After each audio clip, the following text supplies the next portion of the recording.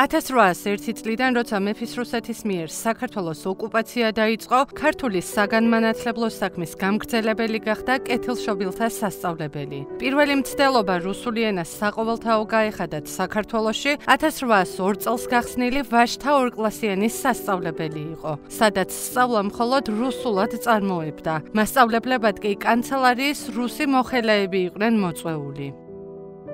რუსულენოვანი სასწავლებელი უცხო და მიუღებელი აღმოჩნდა ქართველი საზოგადოებისათვის, რის გამოც სკოლა მალევე დაიხურა. ის მხოლოდ 1804 წელს მთავარმართებელ პავლე ციციანოვის ინიციატივით აღადგინეს და კეთილშობილთა სასწავლებელი უწოდეს. სწორედ ეს კეთილშობილთა სასწავლებელი 26 წლის მანძილზე ერთადერთი საერო სკოლა იყო საქართველოში. ამ სკოლის ისტორიაში აისახა ქვეყანაში მიმდინარე ყველა მნიშვნელოვანი მოვლენა.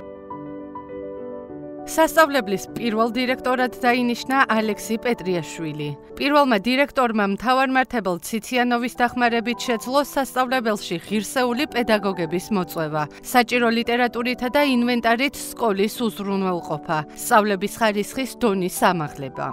მან კეთილშობილთა სასწავლებელს ავტორიტეტი შესძინა. მდგომარეობა შეიცვალა ახალი მთავარმართებლის ალექსანდრე ტორმასოვის დროს. მას კეთილშობილთა სასწავლებლის სამხედრო სკოლად გადაქცევა უნდოდა, რასაც კატეგორიულად არ ეთანხმებოდა ალექსი პეტრიაშვილი, თუმცა მისი წინააღმდეგობა ამ შემთხვევაში უშედეგო იყო. ამიტომაც მან 1810 წელს სასწავლებლის დირექტორის თანამდებობაზე უარი თქვა. ციცით 1802 წელს ახლა რუსთაველის გამზირზე, ხოლო ადრე ამ გამზირზე თქვა ერქო გოლოვინის პროსპექტი და ეს იყო თავარი ესე იგი სავაჭრო პროსპექტი, სადაც აი მუზეუმში ნახავდით თქვენ რომ ქარავნებით გადაგქონდათ სავაჭრო ნივთები, ანუ ძალიან ისეთი მნიშვნელობის და დატვირთვის ქუჩა იყო. გაიხსნა კეთილშობილთა სასწავლებელი რომელიც იყო 4 წლიანი. აქ სწავლობდნენ მხოლოდ დიდგვაროვანთა შვილები. მათ შეეძლოთ მხოლოდ განათლების მიღება და სწავლების ენა, რა თქმა უნდა, იყო რუსული ენა და ასე გაგრძელდა ძალიან დიდხანს. და როდესაც აი თქვა თქვენ სკოლის მემორიალებს ნახავთ, რომ ნახავთ რომ ძალიან დიდი ხნი, ძალიან დიდი ხანი დაახლოებით აი 20 დირექტორი გამოიცვალა ამ სკოლამ და ყველა იყო რუსულენოვანი დირექტორი უკვე კარგა ხნის შემდეგ უკვე 1900-იან წლებში, ანუ მე-20 საუკუნეში დაინიშნა დირექტორი ქართველი. სკოლამ რამდენჯერმე შეიცვალა სახელი, მას კურსი არ შეუცვლია თავისთავად, იმიტომ რომ რუსეთის იმპერიის დანიშნულება და მათი წარგზავნილი გუბერნატორის ციციანოვის დანიშნულება იყო ის, რომ ზუსტად რუსული ენის დანერგვა მომხდარიყო და ქართული ენის ჩანაცვლება. ასე ვთქვა და პედაგოგებიც იყო ყველა დაახლოებით რუსეთიდან მოწვეული პედაგოგები ასწავლიდნენ ამ ჩვენს ქართველებს და ანუ სულის კვეთება იყო მთლიანად რუსული. სკოლამ რამდენჯერმე შეიცვალა სახელი, მას ის იყო ჯერ კეთილშობილთა სასწავლებელი, რაღაც პერიოდის მერე გადაკეთდა სტალინის სახელობის სკოლად.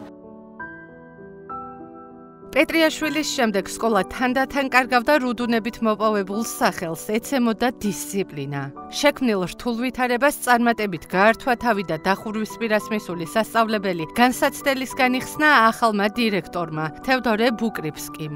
ტორმასოვის გეგმა კეთილშობილთა სასწავლებლის სამხედრო სასწავლებლად გადაქცევის შესახებ არ განხორციელდა, თუმცა სასწავლო საგნებს დაემატა რამდენიმე სამხედრო დისციპლინა. 1820 წლისთვის სკოლაში ისწავლებოდა საღვთორჯული, რუსული, ქართული, აზერბაიჯანული, სომხური, ლათინური და გერმანული ენები, არითმეტიკა, ალგებრა, გეომეტრია, სოფლიოს რუსეთისა და საქართველოს ისტორია, საყოველთაო და რუსეთის გეოგრაფია, ხაზვა და ხატვა. კეთილშობილთა სასწავლებელში თავდაპირველად საგნები ჯერ ქართულ ენაზე ისწავლებოდა, შემდეგ კი გაკვეთილები იმავე საკითხთან დაკავშირებით რუსულ ენაზე მიმდინარეობდა. მიუხედავად იმისა, რომ ფორმალურად ამ სკოლაში ყველა სოციალური ფენის შვილს შეეძლო შესვლა, მოსწავლეთა კონტინგენტი მაინც შეზღუდული იყო მაღალი გადასახადის, აქ მიმდინარე რუსულენოვანი სწავლებისა და წინასწარ მომზადების მაღალი დონის გამო. 1802 წლიდან სხვადასხვა დროს ამ სკოლაში მრავალი გამოჩენილი ადამიანი სწავლობდა, მათ შორის იყო ილია ჭავჭავაძე, ზაქარია ფალიაშვილი, ალექსანდრე კასბეგი, გიორგი ერისთავი, გრიგოლ ორბელიანი ქართულ ენაზე სწავლების შესყიდვა გიმნაზიაში მე-19 საუკუნის 30-იანი წლებიდან იწყება. თავდაპირველად კეთილშობილთა სასწავლებელი ორკლასიანი იყო. 1823 წლიდან ის უკვე 6 კლასიანი გახდა და სასწავლო გეგმით გიმნაზიის სრულს ასრულებდა საქართველოში. სასწავლებლებში მოსწავლეებს იღებდნენ მისაღები გამოცდებით. კლასიდან კლასში გადასასვლელად ტარდებოდა გადასაყვანი ღია წერითი გამოცდა. სასწავლო წლის ბოლოს იმართებოდა საჯარო აქტები, რომელსაც ესწრებოდნენ მთავარმართებელი, საქართველოს ეგზარქოსი, გუბერნატორი და სხვა მაღალი რანგის პირები. საჯარო აქტები ფაქტობრივად სადღესასწაულო წინასწარ დაგეგმილი წარმოდგენა იყო, რომელიც საზოგადოებაში დიდ ინტერესს იწვევდა. უკვე 1950-იანი წლებიდან შერეულ სასწავლებლად გადაიქცა და დაიწყო სკოლა, უკვე როგორც საშუალო სკოლა. ფუნქციონირება. მანამდე ხა ძალიან ბევრი ვინაიდან ეს კი თქვა საქართველოს არ იყო პირველი სკოლა, პირველი თელავში, პირველი სასწავლებელი თელავში გაიხსნა, მეფე ერეკლეს სკოლას რო ვეძახით პირველ სკოლას. ეს იყო მეორე და აქ თბილისში ყველა დიდგვაროვანი შვილი და ყველა ადამიანი, ვისაც აი განათლებასთან ხელი მიუწვდებოდა, ჩვენთან სწავლობდა, ხო? და ამ სკოლას ახსოვს ისეთი პედაგოგები, როგორც არის სოლომონ დოდაშვილი, დიმიტრი ყიფიანი, ვთქვათ, მოსწავლეები ილია ჭავჭავაძე, نيكოლოზ ბარათაშვილი, ივანე ჯავახიშვილი, ყველა ყველა ყაზბეგი, აი ნახავთ მემორიალურ დაფაზე, ყველა ადამიანმა და ნუ რა თქმა უნდა თანამედროვე ადამიანებმაც პრეზიდენტებმა, ორმა, მაგთად სკოლა დაამთავრეს, მერაბ კოსტავამ, ნახავთ მემორიალურ დაფებს ლევან აბაშიძისას, რომელიც აფხაზეთის ომში გარდაიცვალა და ძალიან ბევრი ისეთი ადამიანის, რომელმაც თქვა საქართველოს ისტორიაში წარუშლელი კვალი დატოვეს. 1830 წელს თბილისის კეთილშობილთა სასწავლებელი გიმნაზიად გადაკეთდა. ამ დროს აქ მოღვაწეობდნენ ქართული ეროვნული თვითმყოფადობის შენარჩუნებისათვის მებრძოლი მოღვაწეები სოლომონ დოდაშვილი და დიმიტრი ყიფიანი. მათ დიდი წვლილი მიუძღვით კეთილშობილთა სასწავლებლის გიმნაზიად გამოცხადებაში. 1825-1831 წლებში მიმდინარეობდა გიმნაზიის შენობის მშენებლობა თბილისის მთავარი ქუჩის მაშინდელი გოლოვინის დღევანდელი რუსთაველის გამზირის ცენტრალურ ნაწილში, თავარმართებლის სასახლის გვერდით. თბილისის ვაშთა პირველი გიმნაზიის მატერიალური ბაზა თითქმის ორჯერ აღემატებოდა სხვა სასწავლებლების რესურსს. გაცილებით უკეთ იყო უზრუნველყოფილი დამხმარე სახელმძღვანელოებითა და კლასგარეშე ლიტერატურით. გამოირჩეოდა გიმნაზიის ბიბლიოთეკა, რომელიც ყოველთვის დირექტორთა განსაკუთრებული ზრუნვის საგანს წარმოადგენდა. გიმნაზიაში შექმნილი იყო მოსწავლეთა სწავლისა და დასვენებისათვის საჭირო პირობები. სკოლის დარბაზში ეწყობოდა დასაშლელი სცენა, სადაც მოწაფეები სპექტაკლებს უცხო ენაზე დგამდნენ. გიმნაზიას ყავდა თავისი ორკესტრი. აღდგენილი ქართული თეატრის ისტორიის პირველი დღეები დაკავშირებულია კეთილშობილთა სასწავლებელთან. სწორედ 1850 წელს გიმნაზიის სცენაზე დაიდგა ამავე სასწავლებლის ყოფილი მოსწავლის გიორგი ერისთავის პიესა გაყრა. ეს არის ის დარბაზი, სადაც 1850 წლის 2 იანვარს დაიდგა ერისთავის პიესა, რამაც საფუძველი ჩაუყარა ქართული თეატრის განვითარებას. თბილისის კეთილშობილთა სასწავლებლის დირექცია ზრუნავდა სკოლის ობოლი მოსწავლეებისათვის. ისინი ზაფხულის ცხელდღეებში მანგლისში გაჰყავდათ დასასვენებლად. 1830 წელს გიმნაზიის ხელმოკლე ოჯახის მოსწავლეებისათვის გაიხსნა პანსიონი. აქ ცხოვრობდა და საუკეთესო პანსიონერთა რიცხვში ირიცხებოდა გიმნაზიის მოსწავლე نيكოლოს ბარათაშვილი. სხვა სასწავლებლებთან შედარებით თბილისის პირველ გიმნაზიაში გაცილებით მაღალი იყო აკადემიური მაჩვენებელი. პირველი კლასიკური გიმნაზიის შენობაში ეკლესია ჯერ კიდევ საქართველოს გასაბჭოებამდე არსებობდა. 1847 წლის 23 იანვარს გაზეთი კავკაზი წერდა, რომ ამ ტაძრის კურთხევა საზეიმო ვითარებაში ჩატარდა 19 იანვარს. ტაძრი ივერიის ღვთისმშობლის ხატის სახელობაზე საქართველოს ექსარქოს ისიდორეს უკურთხებია. 1991-1992 წლების თბილისის ომის დროს დანგრეული პირველი კლასიკური გიმნაზიის თავდაპირველი სახით აღდგენის შემდეგ გადაწყდა მისი ეკლესიის განახლებაც. სამუშაოებს სათავეში მშენებელი დიმიტრი ანტღულაძე ჩაუდგა. ივერიის ღვთისმშობლის ტაძრისთვის განკუთვნილი დარბაზის მშენებლობა 1998 წლის 28 აგვისტოს მარიამობის დღესასწაულზე დასრულდა. ტაძრის საკურთხეველს ხის ორიგინალური კანკელი ამშვენებს, რომელიც არქიმანდრიტ იოაკიმე ასათიანის ხელმძღვანელობით შეიქმნა. სამოქალაქო ომის დროს, როდესაც დაიწყო სკოლა აღდგენის პროცესში, სკოლის აღდგენის პროცესში, ასე იპოვეს რაღაცა კუთხე, სამლოცველო კუთხე და აი მის მერე მაშინ ქალბატონი ლიანა იყო შეწირული სკოლის დირექტორი და გადაწყვიტეს აღედგინა ტაძარი სკოლაში და 95 წელს პირველად მიემართა საპატრიარქოს თხოვნით და 95 წელს იყო ამ ადგილზე სამკითხველო დარბაზი ან ბიბლიოთეკა და ამ ბიბლიოთეკა გადავიდა წინა მხარეს სკოლის და აქ გამოიყო ფართი ეკლესიისათვის. мама იოაკიმე იყო ასათიანი, ეხლა გარდაიცვალა ის კაცი, ასაკიანი კაცი იყო. 95 წელში მისი ხელმძღვანელობით იკურთხა ეს ტაძარი და მას მე 2000 წლამდე სხვადასხვა მოძღვრები მოდიოდნენ და დროდადრო პარაკლისებს იხდიდნენ. 2000 წლისათვის დაინიშნა წინამძღვარი დღესდღეობით мама გელასი ნატროშვილი და აი აქედან მოყოლებული უკვე 2000 წლიდან დაიწყო კიდევაც სრულყოფილად წირვალოცვა და მსახურება ამ პერიოდში მოიხატა დაახლოებით ალბათ რამოდენიმე წელიწადში დაიწყო თუ არა მსახურებაც ტაძარი არის ივერის ღვთისმშობლის ხატის სახელობის. კიდან გამომდინარე, კანკელის ხარე, ეს არის კომპოზიციები, რომელიც დათმობილია მაცხოვრის სამქვეყნიურ ცხოვრებას, მაცხოვრის ესე რომ ვთქვათ, შობას, ჯვარცმას, ფერისვალებას, აქეთ არის ღვთისმშობლის კომპოზიციები, იმიტომ რომ ღვთისმშობლის სახელობის ვინაიდან არის დათმობილია ღვთისმშობლის ცხოვრებას.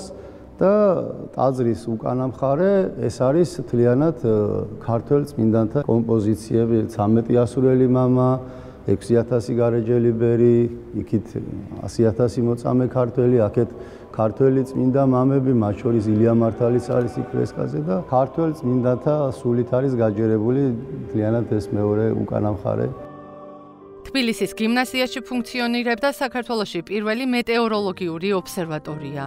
ნიკოლოზ ბარათაშვილმა და მისმა მეგობრებმა 1835 წელს დაიწყეს ხელნაწერი ჟურნალის თბილისის გიმნაზიის უწყებანის გამოშვება. თბილისის კეთილშობილთა სასწავლებელს ალექსი პეტრიაშვილის შემდეგ 1905 წლამდე ქართველი დირექტორი არ ყოლია. 1905 წელს გიმნაზიის დირექტორად დაინიშნა ივანე გამყრელიძე, რომელიც საზოგადოებასა და სკოლაში დიდი ავტორიტეტით სარგებლობდა. ივანე გამყრელიძის დანიშვნა თბილისის გიმნაზიის დირექტორად მოხდა უშუალოდ ილია ჭავჭავაძის წარდგინებით, სწორედ დიდმა ილიამ მიმართა კავკასიის სასწავლო ოლქის ხელმძღვანელს, რათა ივანე როგორც გამორჩეულად ღირსეული პედაგოგი, გამორჩეული სახე ქართული განმანათლებლობისა, არჩეული ყოფილიყო. შეუფასებელია ივანე გამყრელიძის პედაგოგიური ღვაწლი მე-19-მე-20 საუკუნის საქართველოს საგანმანათლებლო სისტემის წინაშე. მან როგორც წერაკითხვის გამავრცელებელი ორგანიზაციის თანადამფუძნებელმა უდიდესი წვლილი შეიტანა ქართული განმანათლებლობის წინსვლის საქმეში. მაგრამ გამორჩეულად მნიშვნელოვანია მისი როგორც თბილისის პირველი ვაშთა გიმნაზიის პირველი ქართველი დირექტორის მეტად ნაყოფიერი შრომა, რომელიც უპირველეს ყოვლისა გამოიხატებოდა განსაკუთრებული მაღალი პედაგოგიური ჰუმანური ქმედებებით, რაც მან გამოავლინა 1905 წლის ოქტომბერში, როდესაც დარბეულ იქნა შავრაზმელების მიერ თბილისის ვაშთა გიმნაზიის შენობა. 1905 წლის 22 ოქტომბერი გიმნაზიის ისტორიაში ერთ-ერთი ტრაგიკული დღე იყო. ამ დღეს გიმნაზიის მოსწავლეები ქვეყანაში დაწყებული პოლიტიკური ქაოსის მსხვერპლი გახდნენ. ჯარისკაცებმა უმოწყალოდ შახოცეს სასწავლებლის მოწაფეები, გაძარცვეს და დაიკავეს შენობა. იმავე დღეს განუზრახავთ გიმნაზიის საფეთქება. ივანე გამყრელიძის გადმოცემით ამ დღეს გიმნაზიის დერეფანში მოკლეს 4 ყმაწვილი და მძიმედ დაჭრეს 7. გიმნაზია კი მეფისნაცვლის განკარგულებით დროებით დაკეტეს და შენობაში ჯარი ჩააყენეს. მოსწავლეთა აღშფოთებას საზღვარი არ ქონდა.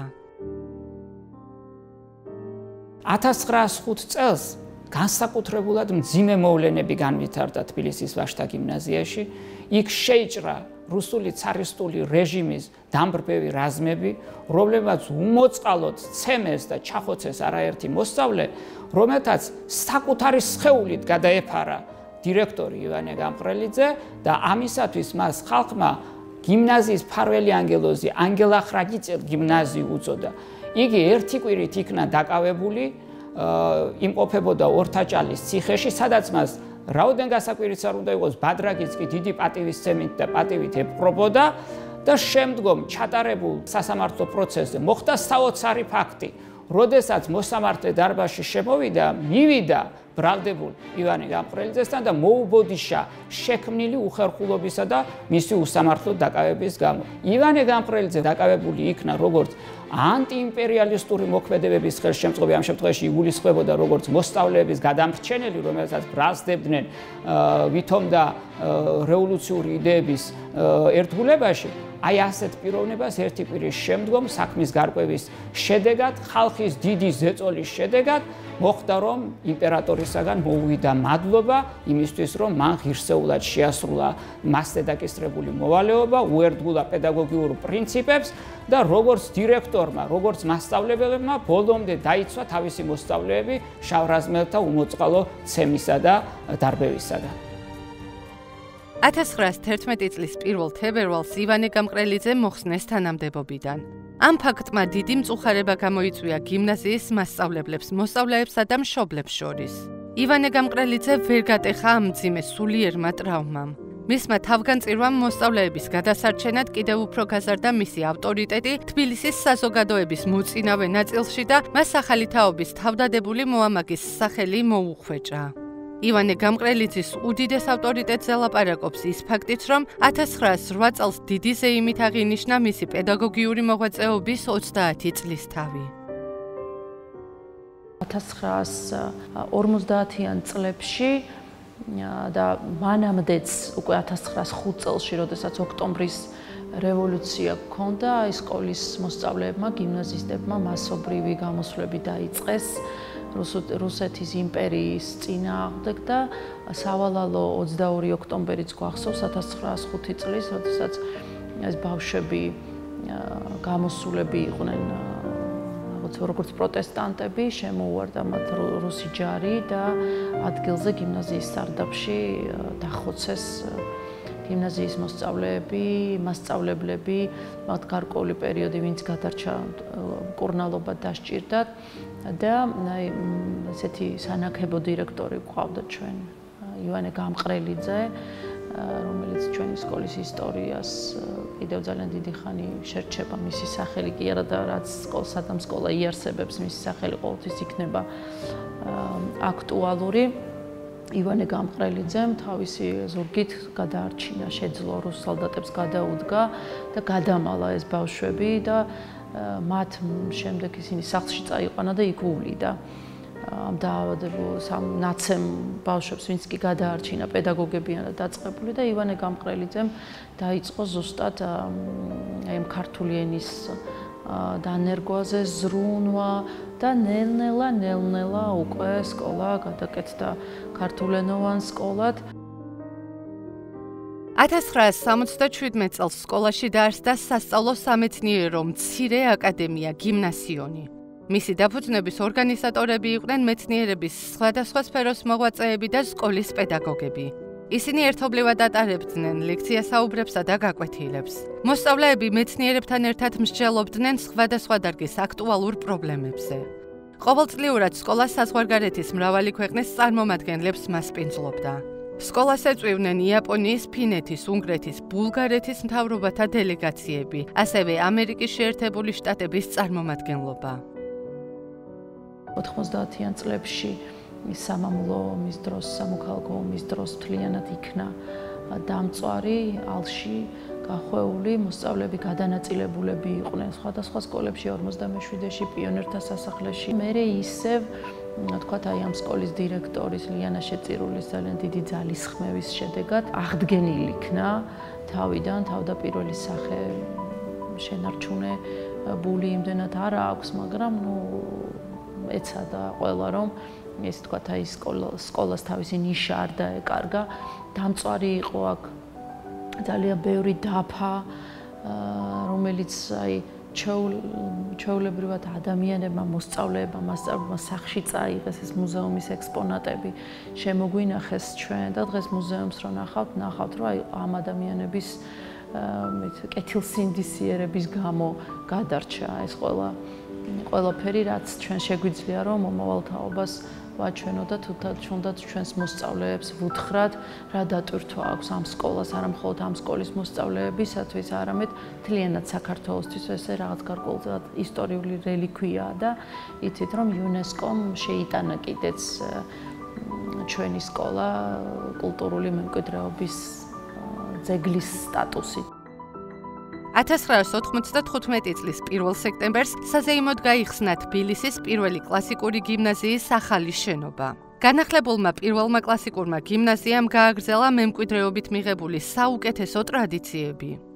აღდგენილი იქნა გიმნაზიის ბიბლიოთეკა, რომელიც კვლავ ერთ-ერთი საუკეთესოა სასკოლო ბიბლიოთეკებს შორის.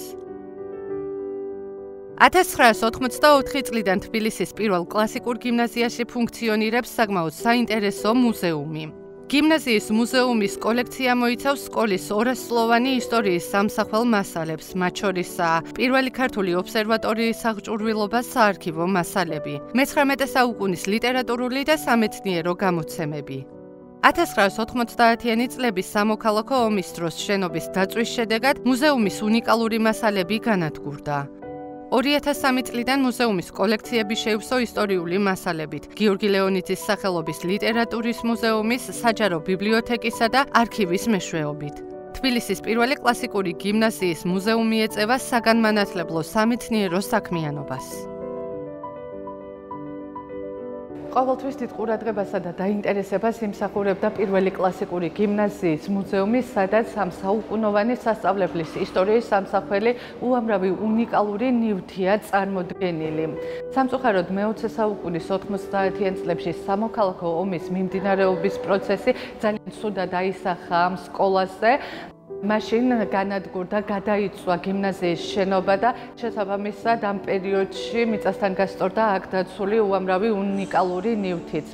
1995 წელს მოხერხდა სკოლის შენობის აღდგენა და სწორედ მაშინ განახლდა პირველი კლასიკური გიმნაზიის მუზეუმიც. 1994 წლიდან თბილისის კლასიკური გიმნაზია განათლების, მეცნიერებისა და კულტურის დარგში იუნესკოს ასოცირებული წევრი გახდა. 2011 წლიდან სკოლას ისტორიული სახელი თბილისის კლასიკური გიმნაზია დაუბრუნდა.